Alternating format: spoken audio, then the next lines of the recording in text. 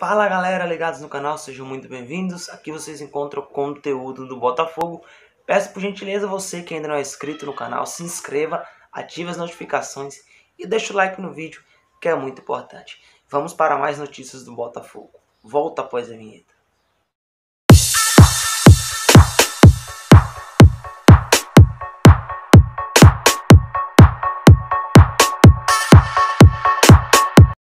Jonathan Lemos não permanecerá no Botafogo. O lateral direito não teve seu vínculo renovado e é um dos primeiros a sair deste atual elenco.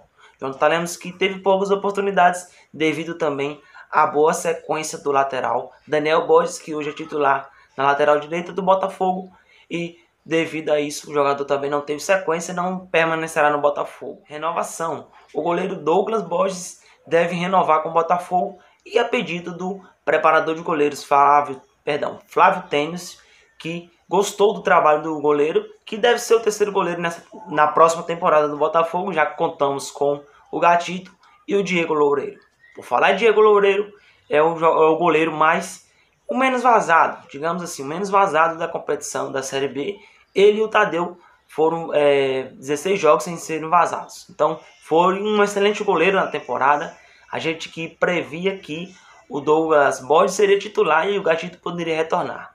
Mas foi uma grande surpresa, surpresa e claro, o jogador tem algumas tendências a melhorar, mas é um jovem jogador e foi um grande goleiro nessa Série B. Ajudou bastante o Botafogo nesse acesso e nesse título. Também o Botafogo apresentará o projeto nesse próximo dia 8 de dezembro, o projeto do Museu do Botafogo, que será na sede General Severiano, que está prevista aí é, a primeira fase para 2022, dezembro de 2022. Será muito importante para a história do Botafogo, a história do Glorioso, que é gigantesca, a história do Estrela Solitária, dentro de um museu em que quem ir no Rio de Janeiro, claro, quem já mora vai ter acesso, quem ir no Rio de Janeiro não pode ir no Rio de Janeiro sem ir ao Museu do Botafogo. Eu, particularmente, pretendo ir lá ano que vem. Quem sabe no fim de dezembro eu tô lá na inauguração do Museu do Botafogo. Chegaram até aqui, ó. Deixa o like no vídeo, se inscreve no canal e ativa as notificações que é muito importante. Vamos bater metas no canal.